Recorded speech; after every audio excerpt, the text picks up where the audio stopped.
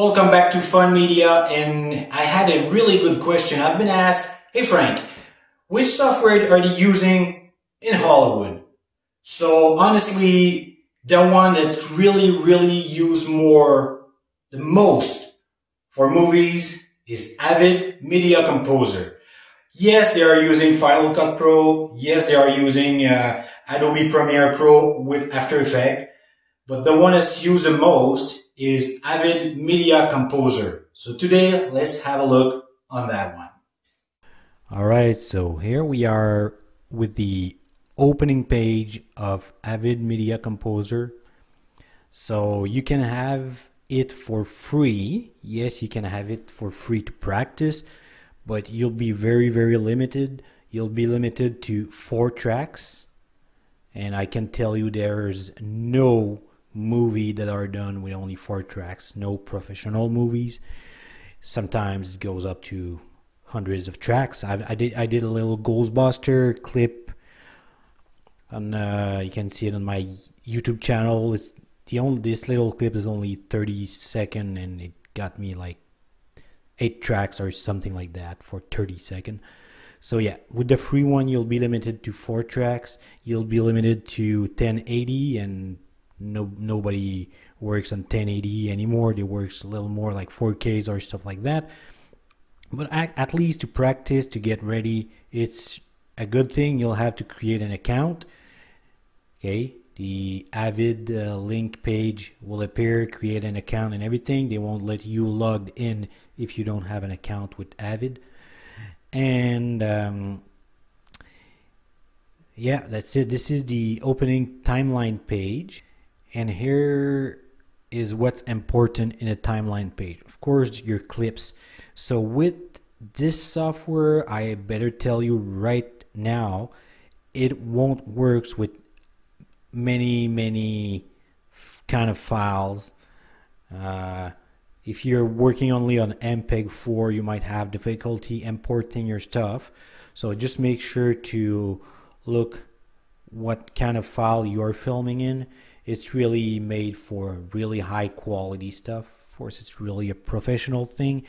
It's uh, really for advanced people. So this is a tutorial for beginner. If you're like a beginner beginner really at the start of your editing career i won't tell you i won't suggest you to use this one. Just go practice with smaller uh, software. But anyway here's our all the major points with this one. So first thing, of course, everything here is pretty much normal. You create a file, you create a project, save it right away.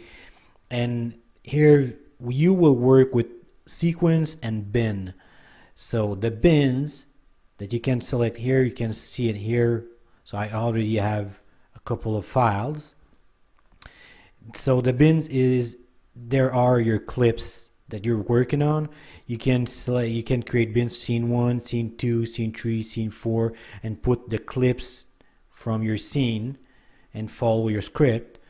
And with those clips you will be working on sequence. So the sequence is normally i guess you might be working on a movie. Let's say your movie is two hours. You work right when you're two hours right here right here on your timeline when you're really a professional, you work by sequence. You do a sequence, maybe a five minute sequence, and put it in sequence one.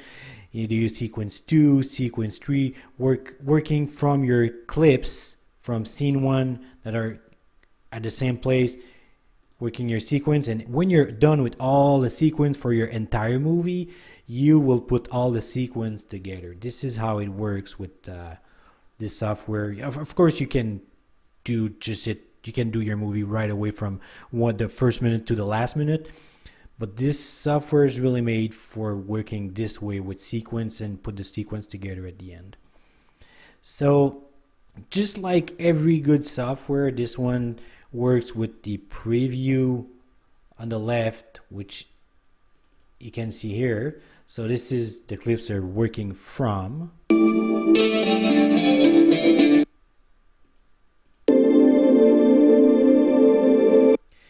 this window here is what you want to have like your final product that you put right here. So I'll just put one just for fun. There you go. So I already have one line here. Like I told you, can work up for four lines. So now if I put my arrow here, so this is what you have in your timeline. This is what you have in your bin. All right. So you're gonna work from the timeline uh, with all the tools that you have here, which we're gonna see in a few minutes. And let's just put one more above right here. There you go.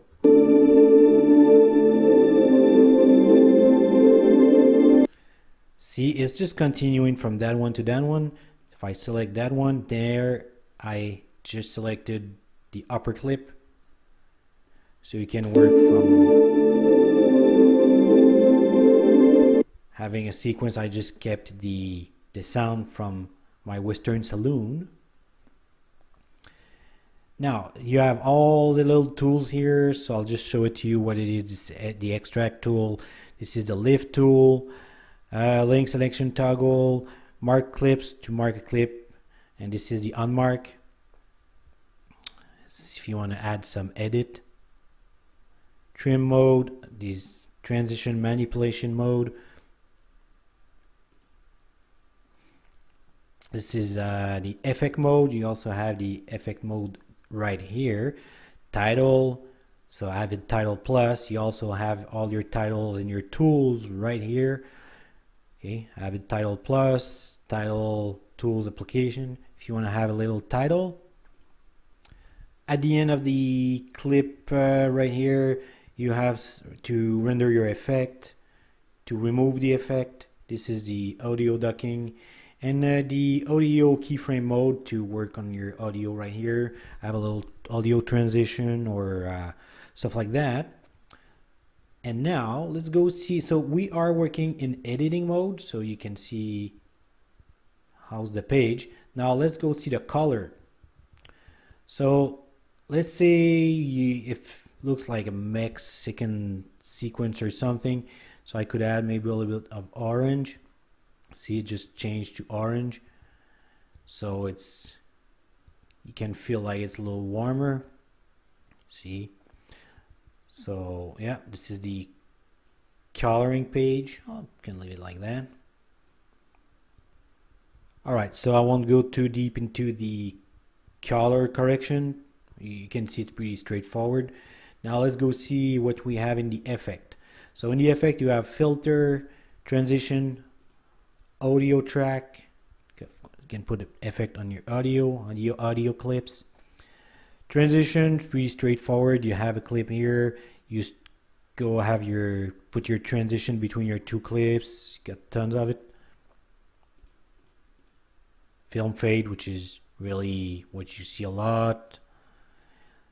Let's try a filter.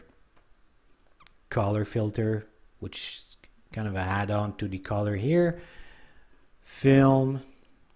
Uh, let's go see an image. Let's try that one flip-flop. See what it did? I just did Control Z to come back. Of course, your keyboard really, really important because every letter is linked to something you can do with the with the Avid uh, Media Composer. How about the paint effect? Let's see something here. Paint effect. So see, I just added those tools right here you can either go draw a little something or let's go here. I just selected the same color that I have here. I'll go with a paintbrush. I could erase that. Of course now I'm doing something really quick they do a lot of uh, special effect like that to erase. Now you can see it. You, you would have to work a lot longer than I did but you can do tons of things right here. It goes go by selecting your your color and then you can draw stuff. You can work on it. So that's pretty cool. Tons of cool effect. I'd like to play with the effect but I won't do that because it's not an effect tutorial. So audio of course you can work on the audio add some mixed and some uh, uh, fade out fade in transition once again. So there's tons of way to work on the audio. You've seen some stuff in the effect. You see this here with the edit tool. You can have the ducking here and the uh, audio keyframe mode. So with the entire software you can work stuff. You can work effect from different places audio from different places. It's really an advanced uh, software. So what i would suggest you is download the free version play with it play with the button uh, try to make sequence try to make effect try to cut scene and everything. And once you understand it more you can then go with the full version which is really expensive but uh anyway i mean if you're really positive in being being a professional software professional video editor hey that's the one. So yeah go practice and see you again with fun media